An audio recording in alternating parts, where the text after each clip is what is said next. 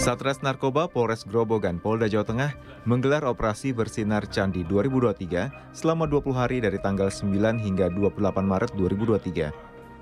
Kapolres Grobogan, AKBP Dedi Anung Kurniawan, dalam konferensi pers mengatakan dua pelaku terjaring selama operasi. Pelaku merupakan pengedar dan pengguna narkoba. Dari keduanya diamankan barang bukti berupa sabu seberat 1,15 gram dan ganja seberat 10,94 gram.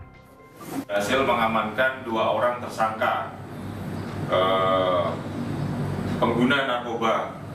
Jadi barang bukti yang berhasil diamankan ada 11 gram kurang lebih ganja dan juga satu setengah gram kira-kira eh, sabu-sabu. Pasal 114 ayat 1 dan subsidiar pasal 111 ayat 1 Undang-Undang Nomor 35 Tahun 2009 dengan ancaman hukuman minimal 5 tahun.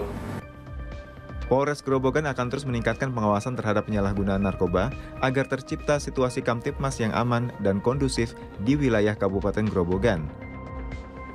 AKBP Anung juga mengimbau pada masyarakat untuk meningkatkan pengawasan terhadap putra-putrinya agar tidak terjebak menggunakan narkotika.